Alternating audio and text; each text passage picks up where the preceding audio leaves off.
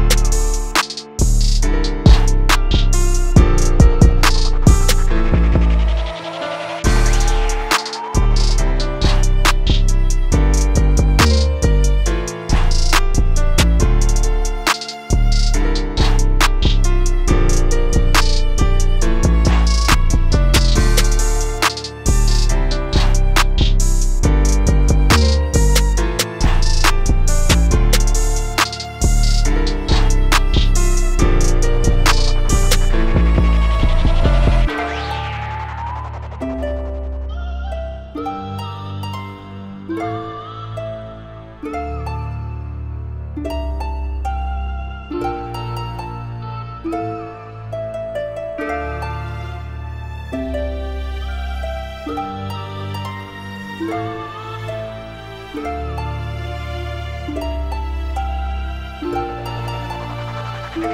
you.